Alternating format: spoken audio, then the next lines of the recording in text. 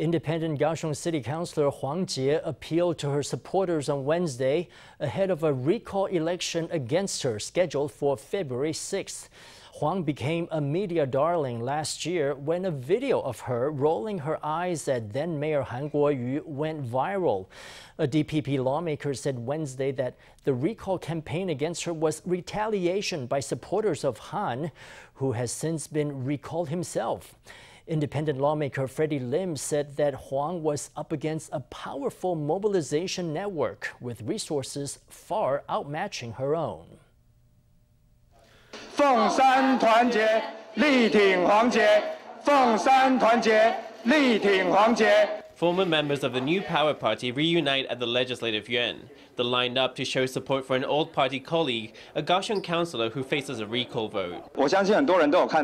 I'm sure all of you have seen all those anti-Huang campaign trucks, the sound trucks, the pamphlets, all those resources which include a robust mobilization network. Huang Chieh has no way of overcoming all of that on her own. When people speak out against female politicians, and particularly young young female politicians, they tend to target their appearance and so on. That sort of criticism is really the cheapest form of discrediting a person. Days earlier, the CEC announced that the petition to recall Huang had cleared the second threshold with some 35,000 signatures. This means the recall will be put to a public vote next February 6th. The news has enlivened Huang's opposition, which is ramping up mobilization. Over at Huang's camp, supporters are rallying too. They point the finger of blame at supporters of former Mayor Han. 这绝对不会是他个人的战争。This is not her own personal war.